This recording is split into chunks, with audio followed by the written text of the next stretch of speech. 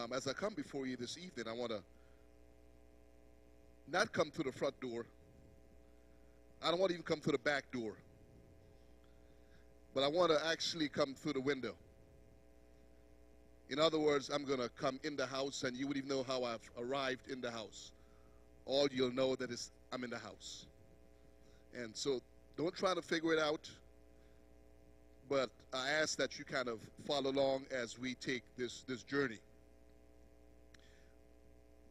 Over the past few months, I have been reflecting over a number of different things. And one of the things I was looking at, I was looking at my life and where I've come from and where I've been, where I am, and where I would like to go. And one of the things that came back to mind, it reminds me of one of my childhood sport. And some of you that were at conference last year, you know that one of, in fact, my most favorite sport is track and field. But I'm not going to talk about track and field tonight. I want to talk about another sport. And you might not be familiar with it. You might be familiar with baseball. But I want to talk about cricket. Cricket is such a different sport than baseball. In, in, in some ways, they're kind of similar in some ways, but they aren't identical. But, you know, you know, it, it's so much fun that you are playing cricket, and in the middle of the match that you are allowed to walk off the field and go have tea. I mean, are you familiar with that? I mean, how cool is that? In the middle of the game, you put everything on hold and you decide to go have tea. Well, actually, where I was raised from 10 to about 14 in the city of Georgetown, we lived in a circle. And within the circle, we had about 48 homes. And within those homes, we had about 38 boys between the ages of 12 and 18. And we all loved to play cricket. Well, if you understand cricket, there's only 11 per team. And having all these boys that wants to play cricket, we all wouldn't be able to play at the same time. Well, granted, all might not be home at the same time. They might be out somewhere, but if you're home, you want to play. And so we're ready to get a match on, and we find out who's home and who wants to play. And all of a sudden, you have all these young men here that are ready to play. And so, how do we decide who gets to play or not? Well, well, we decide we will have two captains, and we will select players. And You'll select that one, and you'll select that one, and you'll select the one until we get to 11 per team. The crazy thing about this situation is that if you are selected, you're completely ecstatic. Why is that? Because I have been chosen. And you can see the dejection on those faces that weren't selected. Why? Because they wanted to play. But because you have been chosen to play in the game, there's this excitement that comes upon you. Because you get to play today.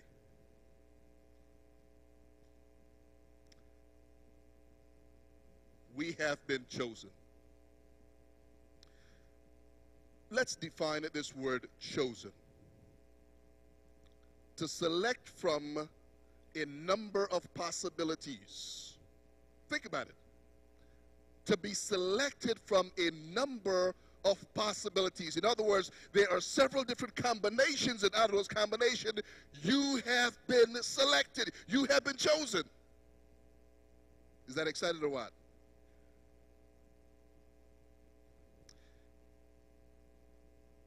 another definition to prefer or decide or to do something.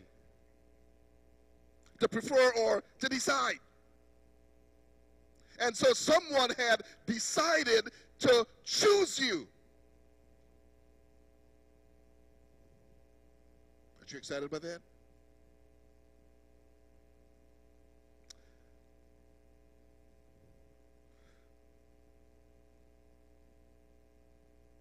Appearances. The word chosen appears in the Bible 119 times 91 in the Old Testament and 28 in the New. The word choose appears in the Bible 58 times 57 in the Old and 1 in the New.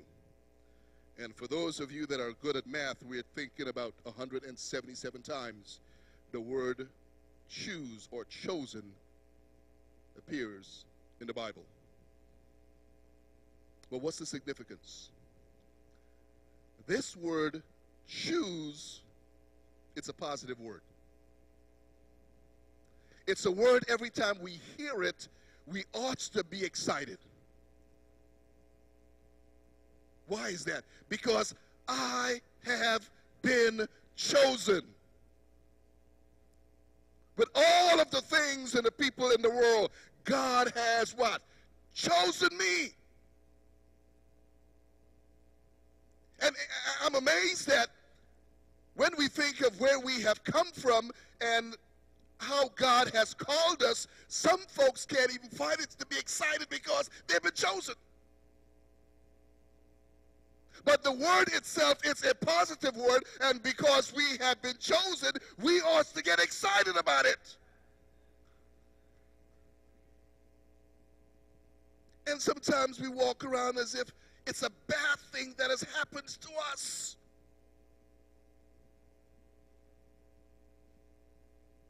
God looked down upon you in your wretched state and he decided to choose you. We ought to be excited about it.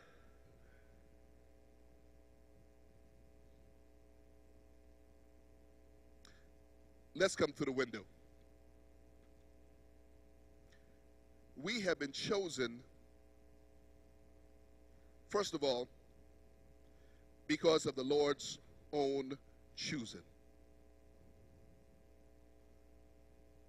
God Himself decided to choose you. You realize that, you know, we didn't decide for ourselves that, God, I want you to choose me. But God Himself, in His mercy and grace, saw us completely destitute, completely lost, and he says, I will choose you.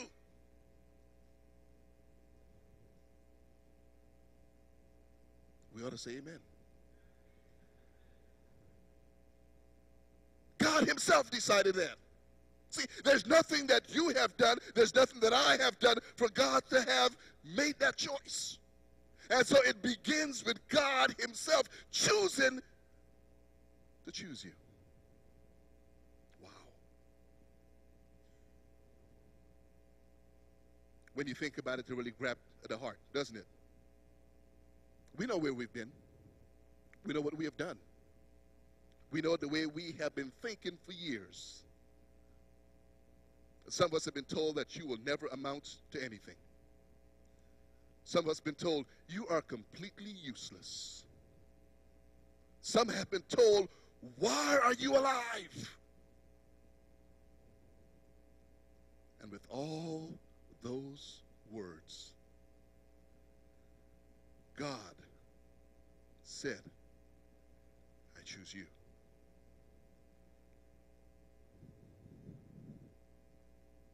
What have you done for God to have done that?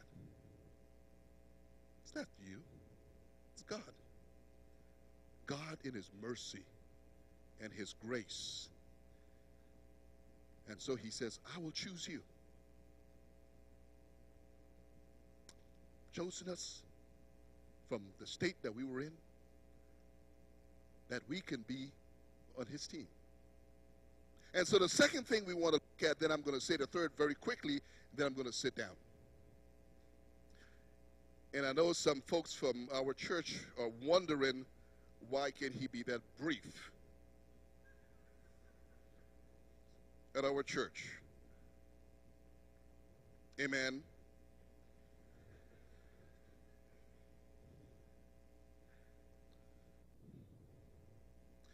we have been chosen, secondly, because we were lost and in need of a Savior.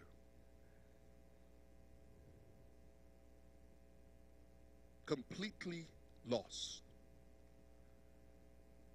completely messed up. And we were wanderers, roaming back and forth. You know, the book of James tells us that a double minded man is unstable in some of his ways. All of his ways. We were going back and forth. Didn't know what to choose, didn't know where to go. Completely befuddled, completely lost. And God said, I will choose you. And I will not only choose you, but I will put you in a path that you will be in a family that you might be secure. Colossians tells us that our lives have been hidden with Christ in God. Think about it. Our lives has been hidden with Christ in God. Have you ever thought about what that might mean? That your life has been hidden with Christ in God? Let me ask a question. Do you know where God is?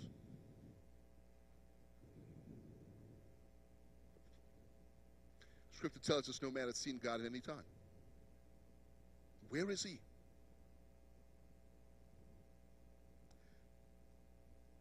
We're told at some point in the future that Jesus will come back, and when he comes back, and then he'll kind of unfold things before us, and then we'll be able to see God the Father in his fullness, in all of his glory. And as I thought of that particular verse, it reminds me that my life that I have given to Christ Jesus has been hidden with, with him in God. You know what that means? Once we have given our lives to Christ, the devil can't get it. See, for the devils to get your life, he has to find or go where God is and take it.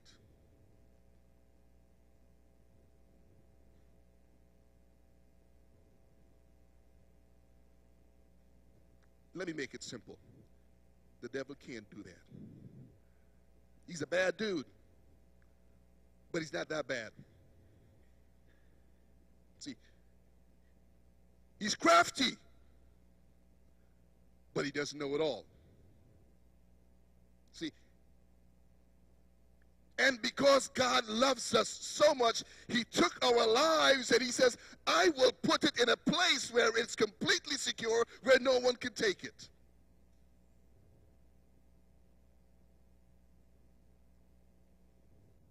Because He loves us. He loved you. He loves me. And so He has taken our lives, our lives that were lost and he had chosen to choose us. And then he took that life and he has placed it in a secure place. Top of security. Might I suggest that Brinks has nothing on Jesus? ADT has nothing on God.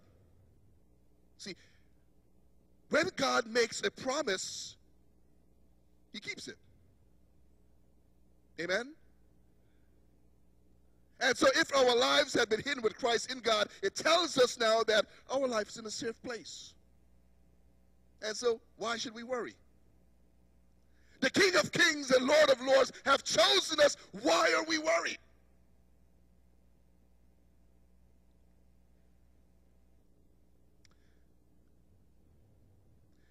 It reminds me as Jesus looked over the multitude of people, and the scripture says that he had compassion on them because they were like sheep without a shepherd.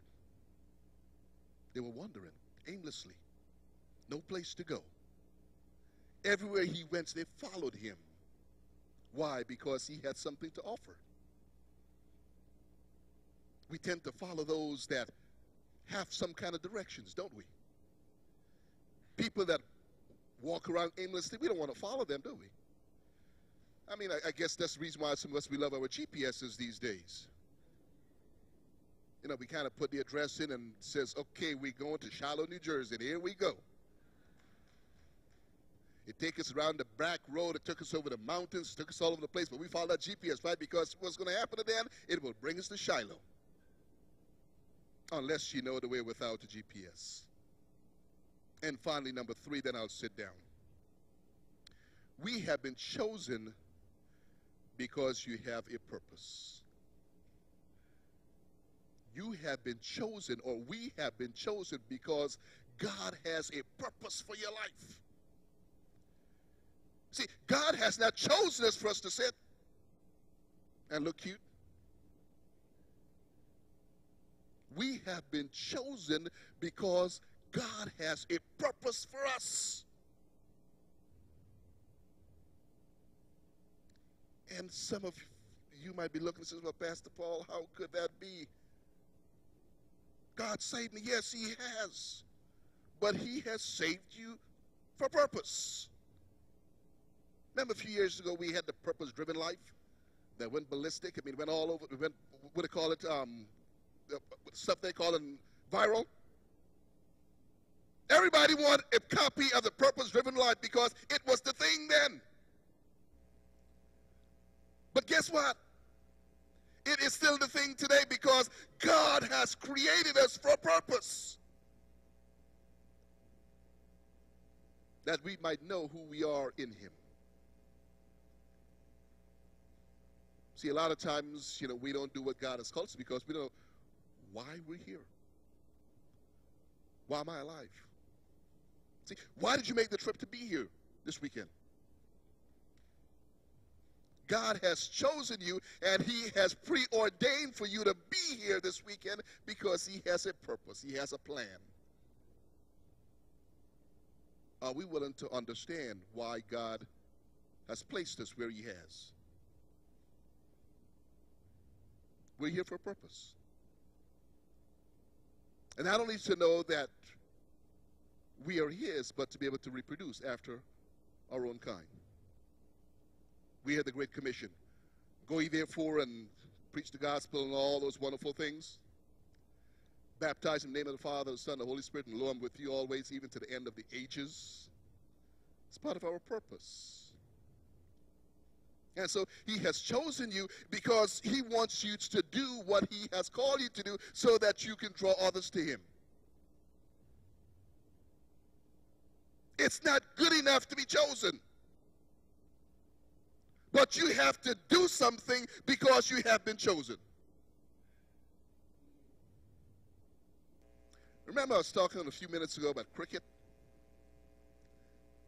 It would have been completely useless for you to have been chosen and you just sit around and do nothing. At some point, you need to get in the game. And you need to play. The time will come when you'll have a chance to bat, and the time will come when you'll have an opportunity to feel. And so you have been chosen for the purpose of playing. And so you can get all excited. Well, woo! I've been chosen.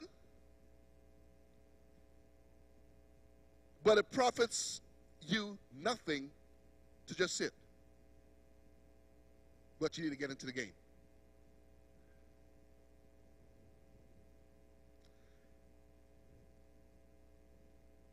So now, what are you going to do with this choice that God has made? See, you can't look at the person next to you because God called you. See, and a lot of times, you know, we, we like to look at the person next to us and find out what they're supposed to be doing. God, where you taking them or what are they? No, no. God has said, look at yourself and ask yourself, what am I supposed to be doing? He has chosen you for a purpose. And you need to know what that purpose is. It's not what He's called me to do, but what He's called you to do.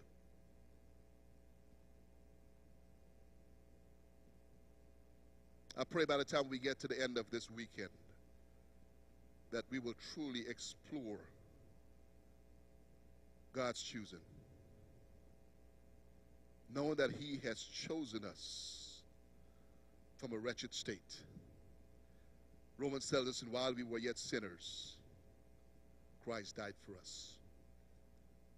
While we were still messed up, while we had it all wrong, while we didn't know which way to go, God chose us. He made a decision and He chose us. Now we are in His family. See, what are you going to do with it? It's not good enough just to shout, wow, I'm in God's family. But you need to represent the family and represent the family very well. You know how you like to protect the family name? Somebody says something bad about you or about your family, and you want to make sure you clear your family name up. Remember that? Ever been there? I mean, I, I, there's not a person that I've met that didn't want to clear their name up. Guess what? God's name is at stake. And He has chosen you, brought you into His family, and now He has given you a mandate to be witnesses so that others can come and share in the fellowship that you have with Him. Let's pray.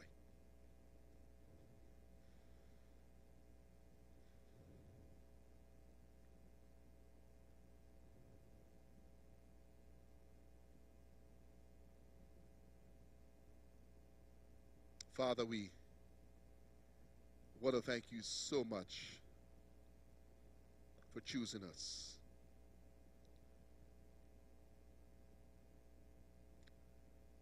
Lord, we know that our lives would be a complete mess, would be a wreck, had it not been for you.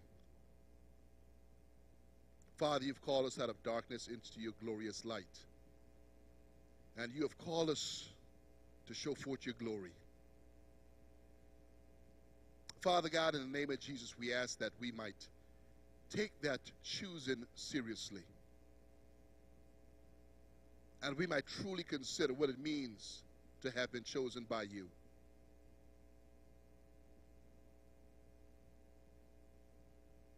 Father, we have allowed a number of different things to creep into our lives. And Father, we've made them a priority in our lives. And Father, we have neglected to do those things to which you have called us. Father, each day we need to, and we do make choices. Help us to choose to do those things that are right in your sight. We thank you, Father, for the privilege and the honor that you have given us that we're able to be in this place. Not only this night, but also on tomorrow and on Sunday. And we ask, O oh God, in the name of Jesus, that you might allow us to surrender ourselves to you.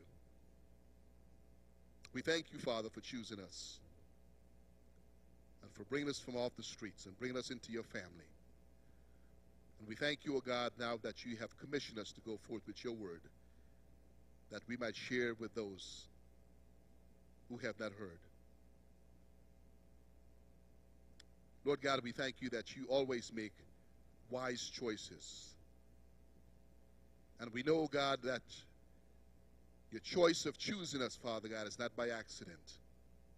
For your word itself tells us that it was preordained before the foundation of the earth.